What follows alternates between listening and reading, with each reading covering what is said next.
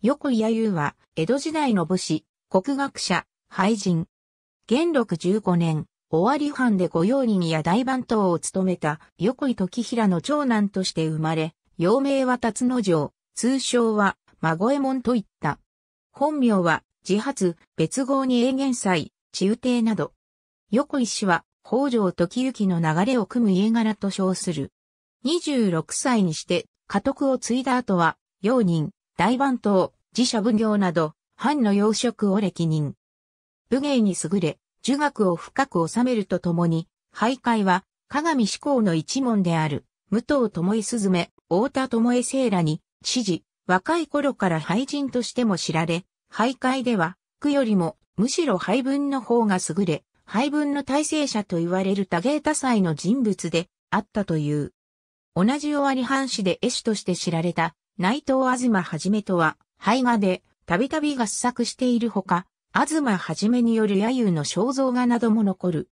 法暦4年、53歳にして、病を理由に隠居した後は、前津の草案、中帝に移り住み、天明3年に82歳で没するまで、配分、監視、和歌、教科、茶道などに親しむ風流人として暮らした。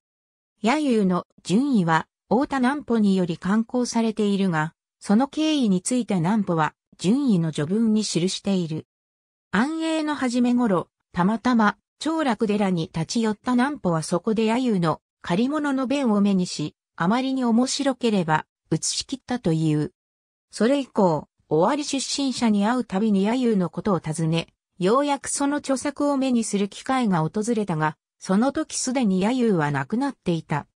南穂は揶揄の作品がこのままうずもれてしまうのは惜しいと思い、自らの手で刊行することとした。こうして順位が世に出ることになったのである。順位に記された揶揄の句の一つ、化け物の正体見たり枯れ尾花は幽霊の正体見たり枯れ尾花と変化して広く知られている。ありがとうございます。